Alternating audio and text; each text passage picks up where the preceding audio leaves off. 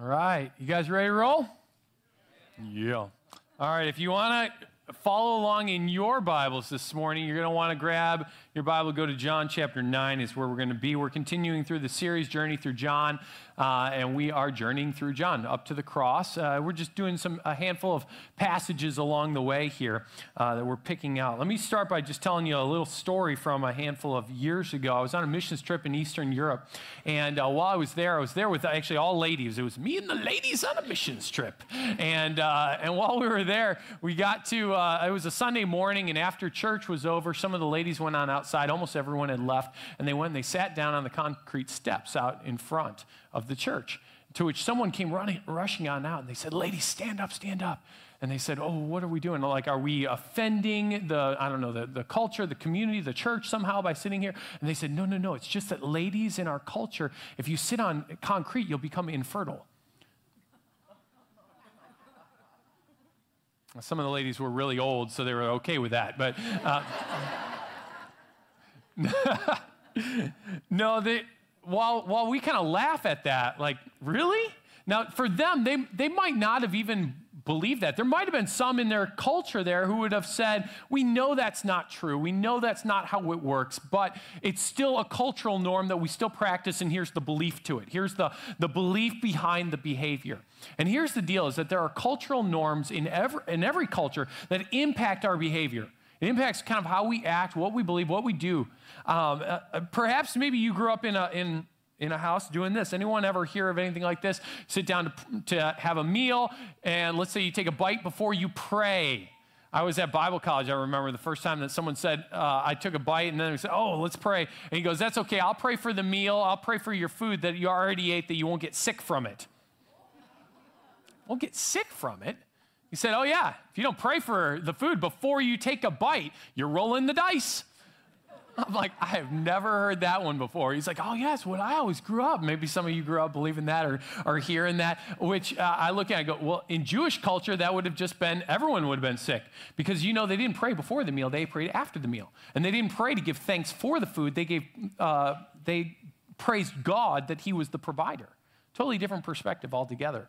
And so, if you look at it and you're like, uh, there are these cultural beliefs and behaviors that we have that sometimes are not in alignment with anything biblical or scriptural or have anything to do with God at all. And so, today, the, the phrase I'm going to keep coming back to is this is that cultural perspectives blind kingdom perspectives. Cultural perspectives will blind you from kingdom perspectives and what God is doing. The real, reality is that in culture, we're, we're born into a culture, and our culture helps shape a lot of times unfortunately, non biblical perspectives about God, his character, uh, how he works, what he would do, what he wouldn't do. And so there are these beliefs in every culture. I love our culture, but our culture has some realities in terms of uh, what it has taught us about who God is and how he works that are not related to God at all or Scripture. And yet they've worked its way into our lives, into the core of who we are to make us and lead us to make uh, incorrect deductions about God or how we should even live. And so, what we're going to do is we're going to dive into John chapter 9 here, where a, a, a bunch of well intended individuals make a whole bunch of incorrect deductions about God and what Jesus is up to because of their cultural perspective, okay?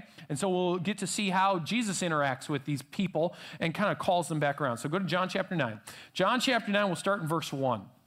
And this is really, it's an interaction that Jesus has around a man who ends up getting healed from his blindness, okay? So this is where it begins. John chapter 9, verse 1. And he, or as he, being Jesus, went along, he saw a man blind from birth. His disciples asked him, Rabbi, who sinned, this man or his parents, that he was born blind? Neither this man nor his parents sinned, said Jesus. This happened so that the work of God might be displayed in his life. So, the first group of people we're going to look at in, in terms of their incorrect cultural perspective that they bring into the situation is actually the disciples. The disciples bring forward an incorrect perspective about what's happening here. And it's around their question. They're saying, Jesus, tell us, who sinned? Did the blind man sin or did his parents sin that this guy ended up blind? Now, wh- why in the world would they even have that as a question? Like, where, where in the world did they come up with that? You got to understand these are Jewish uh, individuals, and Jews lived under the law. Everything was eh, how do we honor the law? How do we live by the law? How do we uh, stay in step with the law? And one of the things that the law really clearly states is eh, all throughout is it's very common. It's this, eye for an eye, tooth for a tooth. Uh, if my ox gores your ox, my ox is going to have to get put down. It's just it was just this because there's a, a wrong, something has to be done to make it right. Okay, and so throughout over, history, what happens is this group of people, uh, they see these things in life, like people who are blind or, or they're lame, and people make the assumption, Israelites came to make the assumption that they said, well, that's clearly not right, so there must have been something that was wrong. Somewhere along the way, someone did something that was wrong. Someone sinned that that happened. And so they asked the question, so Jesus, tell us, who sinned? Was it the parents? Maybe they sinned. Was it the guy himself that he would be born blind? And Jesus' answer just kind of reveals to them guys, your whole question's wrong. You're entering into this thing with a cultural perspective that's off. He goes, neither. Nothing to do with anyone sinning. What, what this is all about, God wants to demonstrate his power in this guy's life. That's why this happened. This is all about God wanting to demonstrate power here. And as silly as that might sound, you know, who sinned that this would happen? I talk to people all the time who still wrestle through those same type of thoughts in, in their mind. They, they, they, say, hey, I'm looking at the crisis that I'm in the middle of right now. Did I do something to offend God? Is there something that my sin and my rebellion did that somehow brought about this life crisis that I'm in. And while, yes, sometimes sin does have, there, there are effects of sin, there's ramifications of sin. If you lie, you will probably break trust with whoever you lied to, right? It's a natural cause and effect of sin. Uh, but then there's these other realities where it's just like, hey, we live in a fallen world, and, and bad things sometimes happen.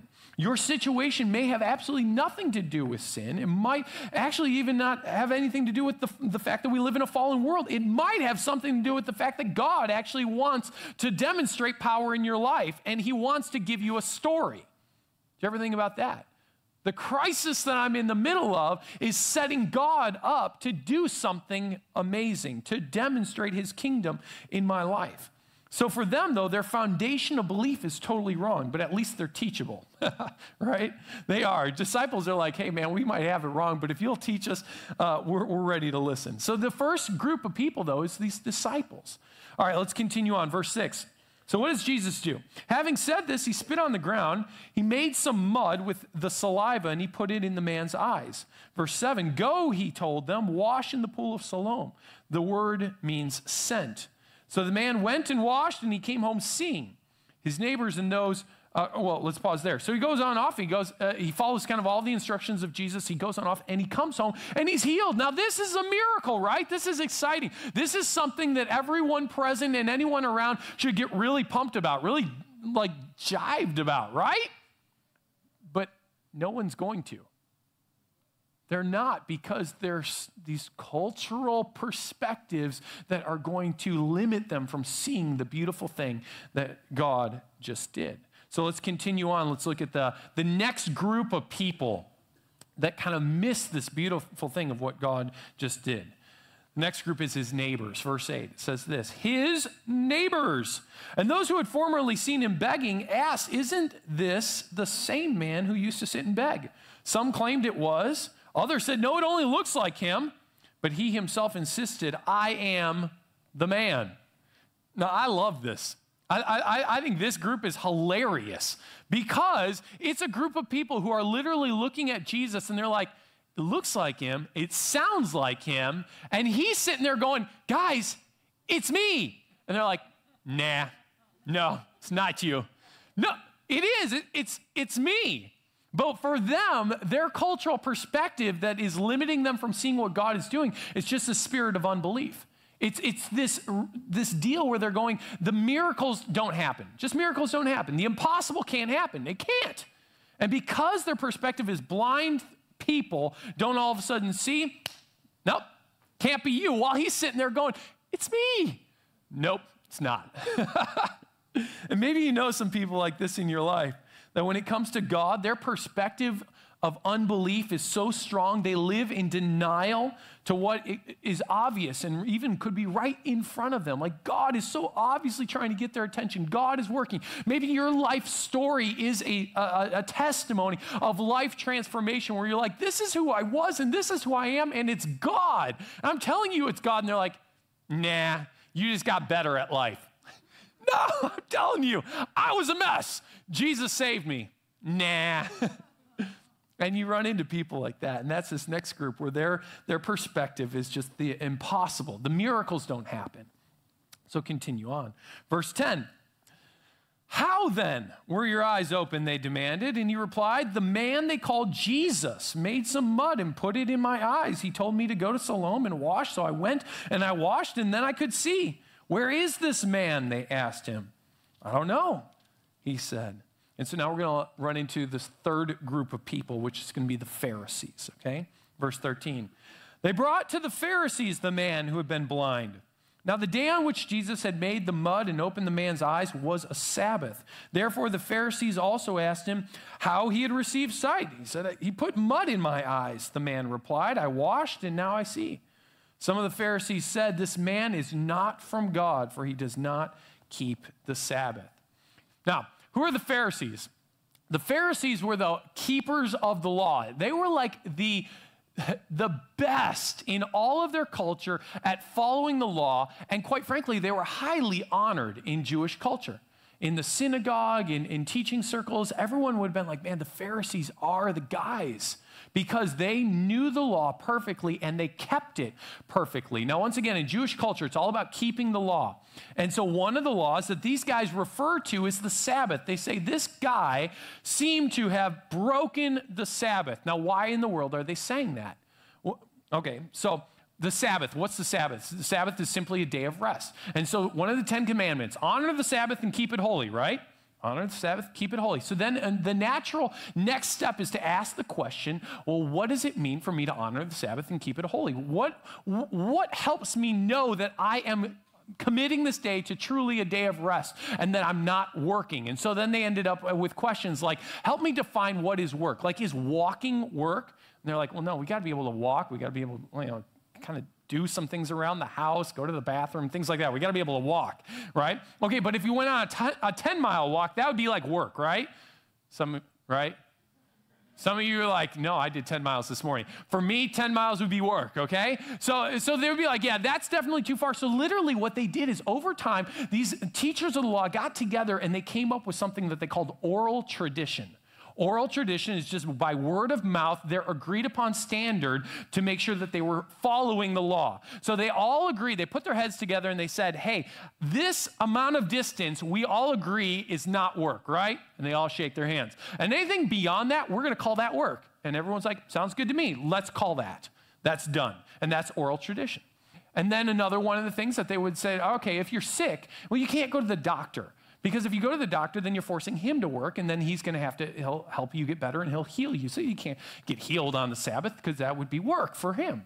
And, and, then they look at other things like all these people were gardeners. They all had their own gardener. They all had their own farm in some way. And so they would say, well, what about like if there's a weed in my garden, can I pull the weed? And they said, no, you can't pull the weed. Even though it's one weed, we're going to call that work. So no pulling of the weed. What about irrigation? Can I water my plants? No, you can't water your plants on the Sabbath. We're basically going to say, if God sends rain on the Sabbath, so be it, it's up to him, but you cannot water your garden at all. That included spitting. Any type of water, liquid on top of it, that's, he's farming. And so for them, literally, they looked at Jesus and they said, You told this guy to walk all the way to the pool of Siloam, breaking the Sabbath. You healed him, healing, breaking the Sabbath. You're gardening, breaking the Sabbath. And so they're all freaking out that Jesus is breaking the Sabbath because they broke what their perspective of the law should have been. And here's the deal is they're offended because God's not following their interpretation of the word of His Word. we never do that, right? Get offended with God because He works outside of the boundaries of how we interpret His, He should act according to His Word. They valued their interpretation of Scripture and their oral tradition and the letter of the law, even over the heart of the law. And so they, they totally missed the fact that the guy was blind. And now they see it. They're just ticked off. They're offended. And here's the deal: is incorrect perspectives produce incorrect deductions. Incorrect perspectives, their incorrect perspective around their oral tradition produces an incorrect dedu- deduction. What's their deduction in verse 16? This man is not from God. Not only is this man from God, it is God. But it produces an incorrect deduction because of their incorrect perspective. Perhaps some of you are around uh, in church over the last 20 to 30 years, uh, as many churches went through uh, what have been almost deemed as worship wars. Uh, the church's transition from more traditional and hymns and things like that to contemporary music and things like that over, over time. Well, what, what happened, I remember uh, people saying in our church, drums are of the devil. Well, that's just silly. Drums are not of the devil. But what, what was it? Well, they highly valued their tradition. They highly valued the, the hymn. They highly valued liturgy. And what happened is they were emotionally responding to this value over the fact that someone was worshiping God fully and genuinely, and they couldn't see that worship in another kind of setting. And so they said, they make a, a, an incorrect deduction based on uh, an incorrect uh, perspective, a cultural perspective, but not really a biblical perspective. Okay, fourth group of people who have an, a, a sad response here is the parents of the man. Verse 18. The Jews still did not believe that he had been blind and received sight until they sent for the man's parents. Is this your son? They asked. Is this the one that you say was born blind? How is it that he can now see? Verse 20. We know he's our son, the parents answered, and we know he was born blind, but how he can see now or who opened his eyes, we don't know. Ask him. He's of age, he'll speak for himself. His parents said this because they were afraid of the Jews. For already the Jews had decided that anyone who acknowledged that Jesus was the Christ would be put out of the synagogues. That's why his parents said, He's of age, ask him. And so here you've got the parents and their cultural perspective that is consuming them right now is fear and acceptance of their community fear and acceptance into the synagogue and into the community as a whole because the community as a whole, cultural community, revolved around the synagogue and revolved around worship there. And so what they're sitting there going is they're going, listen, if we say that this happened by Jesus, we're going to get kicked out of the synagogue. Thus, we're going to get kicked out of our community, and we don't want that. We value that so much. And so their fear of getting kicked out actually robs them of seeing this amazing thing. Like, it, if you were the parent, don't you think you would walk up and be like, I cannot believe it. My son who was blind can now see. And you rejoice. But instead, they're like, you know what? We just got to distance ourselves here because we want to make sure that we don't get kicked out of our community. And so they miss out on it.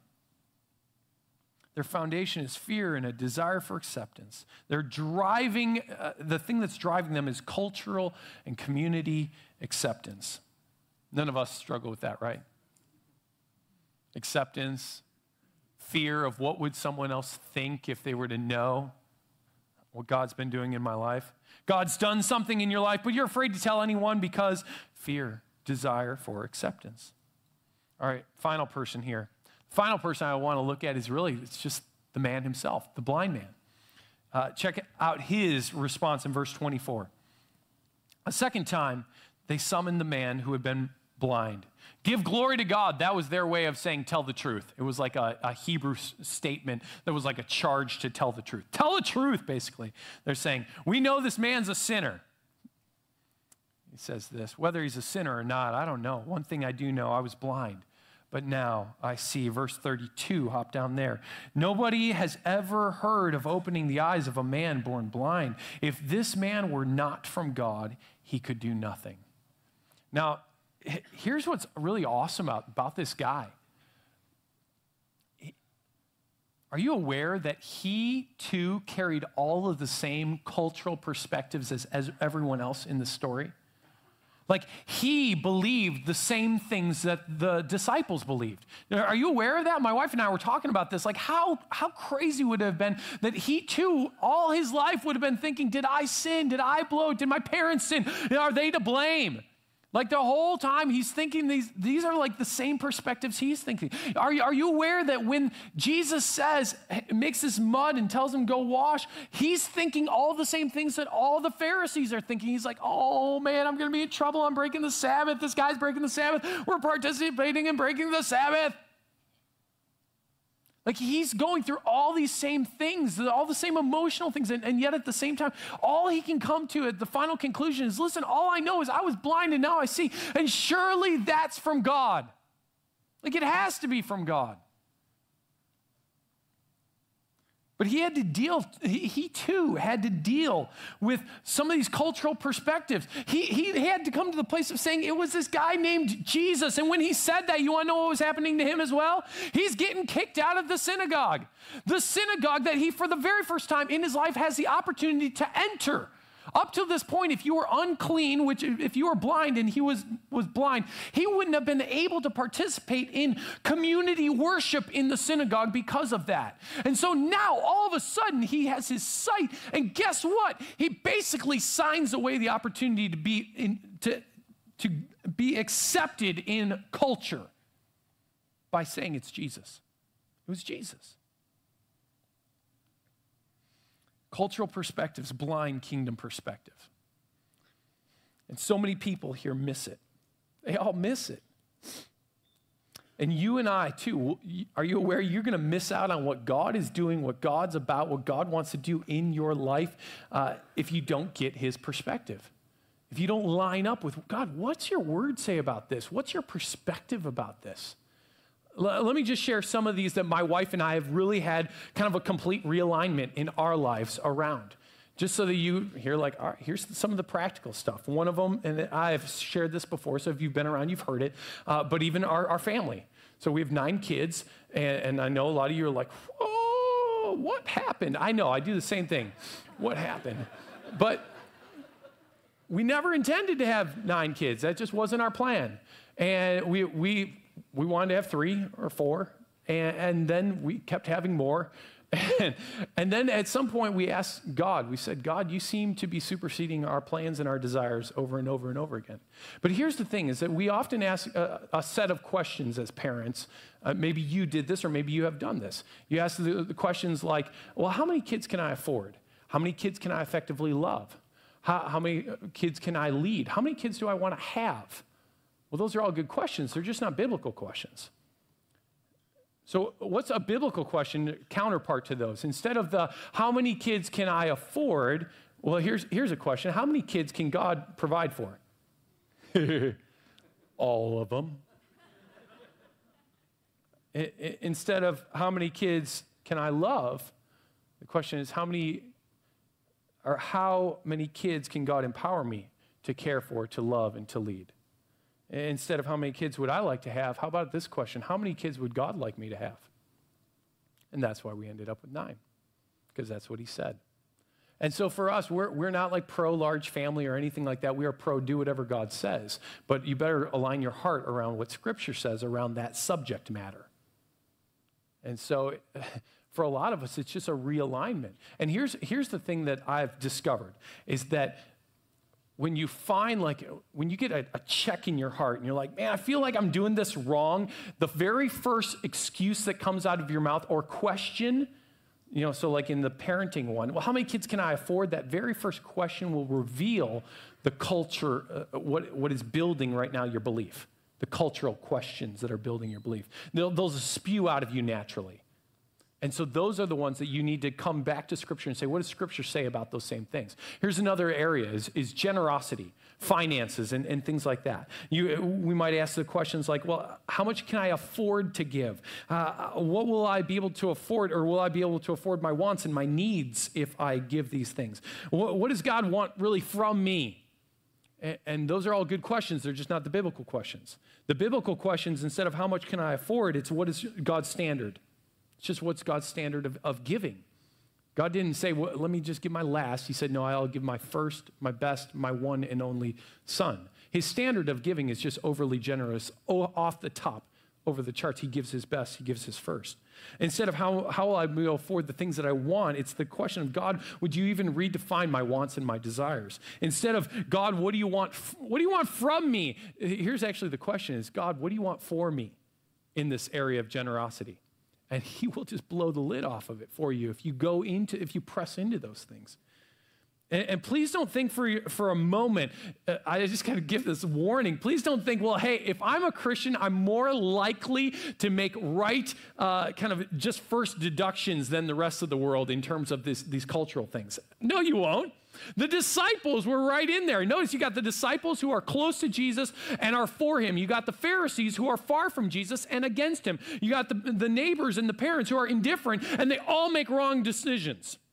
They all make wrong deductions based on their cultural perspective, right? So if you think, man, the disciples are more likely to get it right, no, they weren't. And if you think you're a Christian, you're more likely to get it right, no, you probably won't. Our cultural realities are so ingrained in our core that you have to bring those things to the Word of God and say, God, what are you saying about these things? For us, it could be in the area of, of materialism or keeping up with the Joneses. Could be around power, promotion, uh, or glorification of your children. My, my, wife and I refer to it as the worship of kids. If you're a parent, you probably fall into this cultural belief of the worship of your child. It just is reality. If you don't, all right, another message. Um, political parties, control, safety. These are all subjects that we think, oh, this is God's perspective. or no, it might be your perspective. You think about even safe. I, I don't want to live there because I want to be in this safe place. You want to know the safest place for you is in the will of the Lord. That is the safest place. If it's in the ghetto and that's the will, man, you are safer there than in the suburbs. I promise you. Think about King David. King David, uh, when he fell, he was in what appeared to be a very safe place. He was at home as opposed to at war. But the scripture starts by saying, at the times when the kings go off to war, who's David? He is the he's the king. Where's he supposed to be? At war. That's the will of the Lord. He's outside the will of the Lord, and so he doesn't have the grace of God to handle the battle that he's about to face, the battle he wasn't supposed to face, which was this temptation with Bathsheba. So he's in an unsafe place because he's outside the will of the Lord. The safest place for you is with wherever God's calling you. So we, we have to ask these questions God, what are you doing? What does Scripture say about this subject? This thing that is this belief that's so central to my core. It's, it's why I do what I do. It's why in some cultures they don't sit on concrete. It's just become so ingrained that they're unaware and I would argue that there's a lot of it in our own lives that's so ingrained in who we are that if you were to come back to the Word of God and say, God, what does your Word say about this? And how would you redefine me? How would you help me get a kingdom perspective? Man, He would start building a whole different perspective in your mind as opposed to what, what you currently perhaps are believing. So let's just close here in prayer.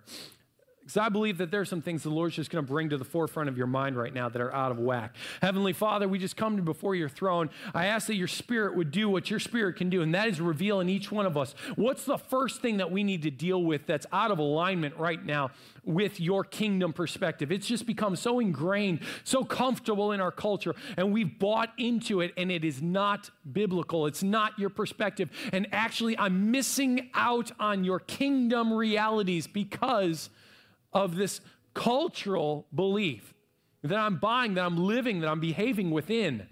So, Lord, I pray that you would just bring that thing right now to the forefront of my mind, then help me to commit to dive into Scripture to see what is your heart? What's the scriptural principles around this subject, and that my beliefs would be defined by your kingdom realities and by the Word of God, and not by the culture in which I was born or what everyone else is saying. I believe, God, that we are meant to be a people that represent your kingdom. And the only way that we will represent your kingdom is if we understand the perspectives of your kingdom in all things. So lead us into that and help us to live it. In Jesus' name. And all God's people said, Amen. Amen. We got prayer partners back here who would love to pray with you if you have any prayer needs. Otherwise, be blessed. Have a great, great Sunday.